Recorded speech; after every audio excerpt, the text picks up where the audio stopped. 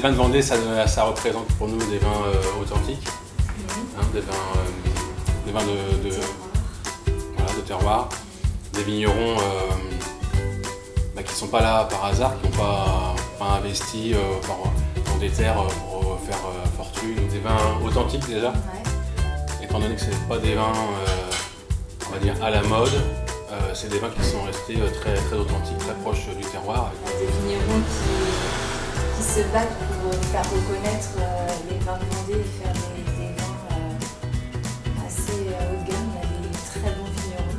J'ai pensé tout de suite à faire un filet de canard de chez Liliane Burgo, qui fournit des grands restaurants dans le monde entier.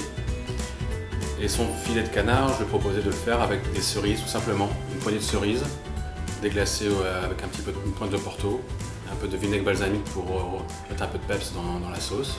Et voilà, tout simplement, en fait, Commencer à la poêle, fini dans le four.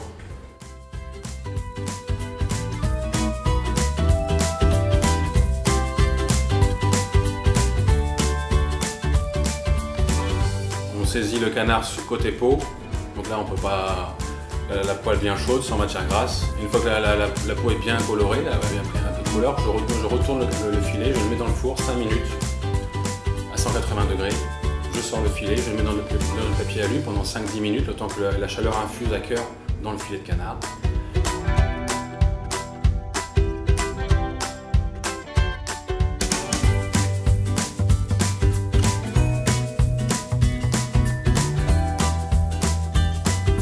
Et pendant ce temps-là, je garde la même poêle dans laquelle je jette les cerises avec un petit peu de porto, un petit trait de vinaigre balsamique.